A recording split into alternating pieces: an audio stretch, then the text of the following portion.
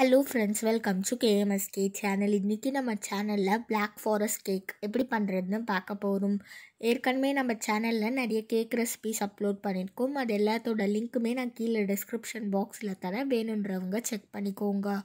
So வீடியோக்குள்ளே போகிறதுக்கு முன்னாடி நீங்கள் நம்ம சேனலை சப்ஸ்கிரைப் பண்ணலைன்னா சப்ஸ்கிரைப் பண்ணிவிட்டு பக்கத்தில் இருக்க பெல் ஐக்கானை கிளிக் பண்ணிக்கோங்க. அப்போ தான் நாங்கள் போடுற வீடியோ உங்களுக்கு உடனுக்குடனே நோட்டிஃபிகேஷனாக வரும். வாங்க வீடியோக்குள்ளே போகலாம் ஃபர்ஸ்ட் இதுக்கு ஒரு பவுலில் நம்ம பட்டர் மில்க் பண்ணிக்க போகிறோம் ஏற்கனவே நம்ம பட்டர்ஸ்காட்ச் கேக் பண்ணியிருந்த மாதிரியே தான் இந்த பவுலில் ஒரு கப் பால் ஆட் பண்ணிக்கலாம். பால் பார்த்திங்கன்னா ரூம் டெம்பரேச்சரில் இருக்கணும். கரெக்டாக மெஷர் பண்ணி ஒரு கப் ஆட் பண்ணிக்கோங்க. இப்போது இது கூட ஒன்றரை டீஸ்பூன் லெமன் ஜூஸ் ஆட் பண்ணிக்கலாம். இல்லைன்னா நீங்கள் ஒரு டீஸ்பூன் வினிகர் கூட ஆட் பண்ணிக்கலாம். இதை லைட்டாக மிக்ஸ் பண்ணிடலாம்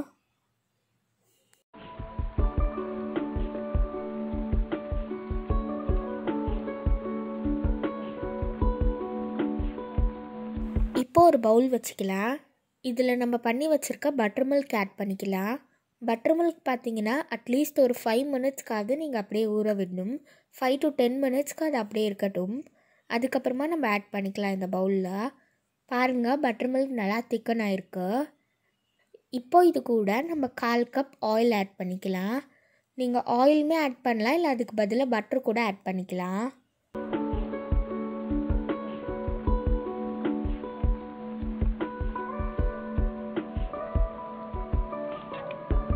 இப்போது இதை லைட்டாக மிக்ஸ் பண்ணிக்கலாம். ஒரு டூ மினிட்ஸ்க்கு இதை மிக்ஸ் பண்ணிக்கோங்க. மிக்ஸ் பண்ணிட்டோன்னே இது கூட நம்ம கண்டென்ஸ் மில்க் ஆட் பண்ண போகிறோம் இன்கேஸ் உங்ககிட்ட கண்டென்ஸ் மில்க் இல்லைன்னா சர்க்கரையை ஆட் பண்ணும் போது நம்ம சர்க்கரையை கொஞ்சம் எக்ஸ்ட்ராவாக ஆட் பண்ணிக்கணும். அது எவ்வளோ ஆட் பண்ணும் அப்படின்றத நான் உங்களுக்கு ஆட் பண்ணும் போது சொல்கிறேன் நான் பார்த்தீங்கன்னா இப்போ ஒரு கால் கப் வந்து கண்டென்ஸ் மில்க் ஆட் பண்ணிக்கிறேன். கண்டென்ஸ் மில்க் நம்ம ஆட் பண்ணும்போது கேக் இன்னும் கொஞ்சம் நல்லா மாய்ஸ்டராக சாஃப்டாக இருக்கும். இப்போது இதை நம்ம நல்லா மிக்ஸ் பண்ணிடலாம். இதுக்கு மேலே ஒரு ஃபில்ட்ரு வச்சுக்கலாம். நம்ம பட்டர்ஸ்காட்ச் கேக்குக்கு பண்ண மாதிரி நீங்கள் செப்பரேட்டாக ஃபில்ட்ரு பண்ணிட்டுமே இது கூட ஆட் பண்ணி மிக்ஸ் பண்ணலாம். பட் நான் இப்படியே ஆட் பண்ண போகிறேன் நான் பார்த்தீங்கன்னா ஒன்றே கால் கப் மைதா ஆட் பண்ணிக்கிறேன். மைதாக்கு பதிலாக நீங்கள் கோதுமை மாவு கூட ஆட் பண்ணிக்கலாம். இப்போ இதை லைட்டாக ஃபில்ட்ரு பண்ணிடலாம் இது இந்த மாதிரி லைட்டாக ஃபில்ட்ரு பண்ணிட்டோன்னா இது கூட நம்ம ஐசிங் சுகர் ஆட் பண்ணிக்கலாம். நான் பார்த்தீங்கன்னா ஒரு முக்கால் கப் ஐசிங் சுகர் ஆட் பண்ணிக்கிறேன். இன்கேஸ் உங்களுக்கு ஐசிங் சுகர் கிடைக்கலனா நீங்கள் பவுடர் சுகர் யூஸ் பண்ணிக்கலாம். நீங்கள் கண்டென்ஸ் மில்க் ஆட் பண்ணலனா ஒரு கப் பவுடர் சுகர் இல்லை ஐசிங் சுகர் ஆட் பண்ணிக்கோங்க. இப்போது இது கூட ஒரு டீஸ்பூன் பேக்கிங் பவுடர் அரை டீஸ்பூன் பேக்கிங் சோடா ஆட் பண்ணிக்கலாம். அரை டீஸ்பூன் சால்ட் ஆட் பண்ணிக்கலாம். இதை லைட்டாக ஃபில்ட்ரு பண்ணிவிட்டு இது கூட ஒரு கால் கப் கொக்கோ பவுடர் ஆட் பண்ணிக்கலாம். ஆட் பண்ணிவிட்டு இது எல்லாத்தையுமே நம்ம நல்லா ஃபில்ட்ரு பண்ணிடலாம்.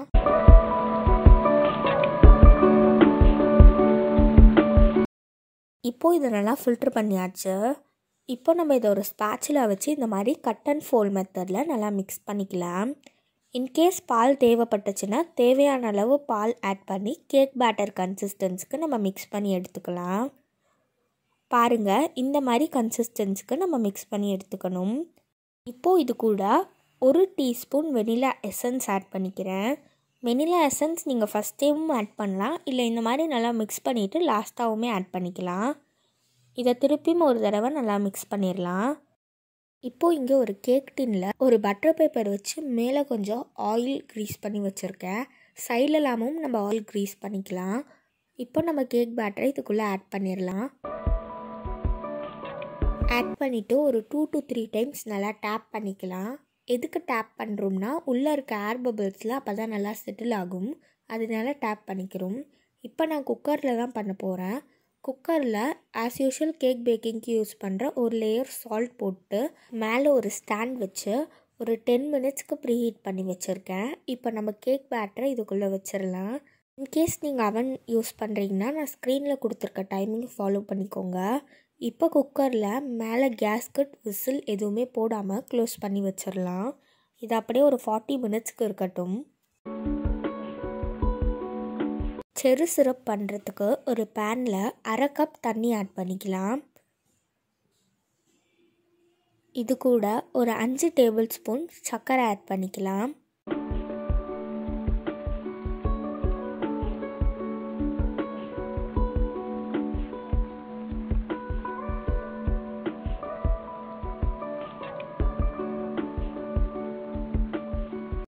சர்க்கரை நல்லா இந்த மாதிரி கரைஞ்சி நல்லா இந்த மாதிரி கொதிக்கும் போது இது கூட ஒரு அஞ்சுலேருந்து ஆறு செடியை வந்து நான் கட் பண்ணி வச்சுருக்கேன் சின்ன சின்ன பீசஸாக இந்த மாதிரி கட் பண்ணிவிட்டு சேர்த்துக்கலாம்.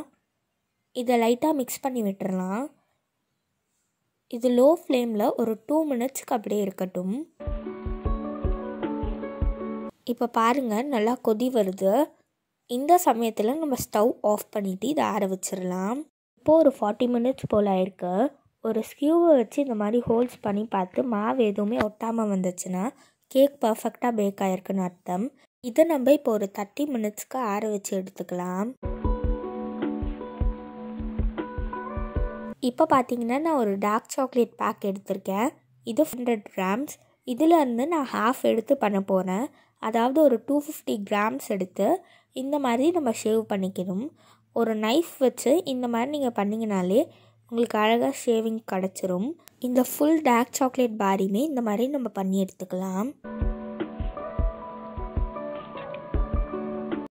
இப்போ நம்ம விப்பிங் க்ரீம் பண்ண போகிறோம் இதுக்கு நான் ஒரு பவுல் எடுத்திருக்கேன். இந்த பவுலை ஃப்ரீசரில் வச்சு ஒரு ten to fifteen minutes chill பண்ணிக்கணும். பிளேட்ஸையுமே நல்லா இந்த மாதிரி சில் பண்ணி எடுத்துக்கணும். இப்போது இதில் ஒரு ஒன்றரை கப்பு நான் விப்பிங் க்ரீம் ஆட் பண்ணிக்கிறேன்.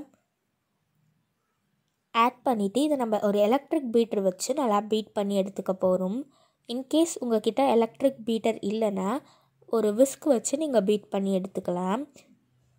விப்பிங் க்ரீம் பார்த்தீங்கன்னா எல்லா கடையிலுமே நமக்கு கிடைக்காது. பேக்கிங் சப்ளைங் ஷாப்ஸில் தான் நமக்கு கிடைக்கும்.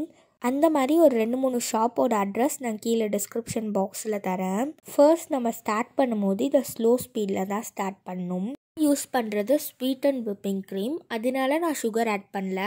இன்கேஸ் நீங்கள் unsweet and whipping cream use பண்ணுறீங்கன்னா ஒரு ரெண்டுலேருந்து மூணு ஸ்பூன் சுகர் ஆட் பண்ணிக்கோங்க. இப்போ நம்ம இதை நல்லா பீட் பண்ணி எடுத்துக்கலாம். இந்த மாதிரி நல்லா ஸ்டிஃப் பீக்ஸ் ஃபார்ம் ஆகிற அளவுக்கு நீங்கள் பீட் பண்ணி எடுத்துக்கணும். இதை பீட் பண்ணுறதுக்கு ஒரு ஃபைவ் மினிட்ஸ் தான் ஆகும். பாருங்கள் இதுதான் கரெக்டான ஸ்டேஜ் இன்கேஸ் நீங்கள் இந்த பவுலை திருப்பினா கூட இது கீழே விழக்கூடாது. பாருங்கள் பர்ஃபெக்டான கன்சிஸ்டன்ஸ் இப்போது இது வந்து நம்ம ஃப்ரிட்ஜில் வச்சு எடுத்துக்கலாம். எப்போ நம்ம கேக் டெக்கரேட் பண்ணுறோமோ அப்போ எடுத்தால் போதும். கேக் இப்போ நல்லா ஆறிடுச்சு. இதை நம்ம அன்மோல் பண்ணிடலாம் இந்த மாதிரி அன்மோல் பண்ணிட்டோன்னா நம்ம அதுலேருந்து பட்டர் பேப்பரை ரிமூவ் பண்ணிடலாம்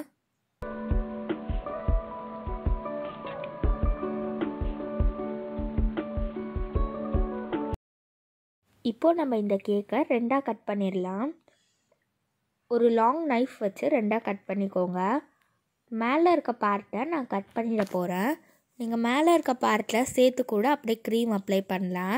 நான் பட்டர்ஸ்காட்ச் கேக் பண்ணும்போது அப்படி தான் க்ரீம் அப்ளை பண்ணியிருந்தேன் கட் பண்ணிவிட்டு இதை நம்ம டெக்கரேட் பண்ணிடலாம் லேயரில் க்ரீம் தடவிட்டு மேலே செரி சிரப் அந்த மாதிரி எல்லா லேயருமே நம்ம கவர் பண்ணிடலாம் நான் இந்த மாதிரி ஃபுல் கேக்குமே நல்லா இந்த மாதிரி கவர் பண்ணிட்டோன்னே நம்ம ஷேவ் பண்ணி வச்சுருக்க அந்த டார்க் சாக்லேட்டை வந்து இது மேலே அப்படியே ஆட் பண்ணிடலாம். ஃபுல்லாக கேக்கையே நம்ம டார்க் சாக்லேட் வச்சு கவர் பண்ணிக்கலாம். பாருங்கள் இந்த மாதிரி ஃபுல்லாகவே கவர் பண்ணிட்டேன். இப்போ நான் ஒரு பைப்பிங் பேக்கில் க்ரீம் ஃபில் பண்ணி வச்சுருக்கேன். சிசர் வச்சு அந்த எட்ஜை மட்டும் கட் பண்ணிவிட்டு நம்ம இதில் வந்து டிசைன் கொடுத்துக்கலாம். இந்த மாதிரி டிசைன் கொடுத்துட்டு எல்லாத்துக்கு மேலேயும் நம்ம செரி வச்சிடலாம். செரி வச்சுட்டு அந்த சென்டரில் இருக்க ஸ்பேஸை கூட நம்ம செரி வச்சு கவர் பண்ணிடலாம். பாருங்கள் இந்த மாதிரி கவர் பண்ணிடலாம். ஸோ சூப்பரான டேஸ்டியான டெலிஷியஸான பிளாக் ஃபாரஸ்ட் கேக் கடையில் கிடைக்கிற ஸ்டைல்லையே சூப்பராக வீட்டிலே ரெடி ஆகிடுச்சு கண்டிப்பாக இதை உங்கள் வீட்டில் ட்ரை பண்ணி பார்த்துட்டு எப்படி இருந்தது அப்படின்றத கமெண்ட்ஸில் சொல்லுங்கள்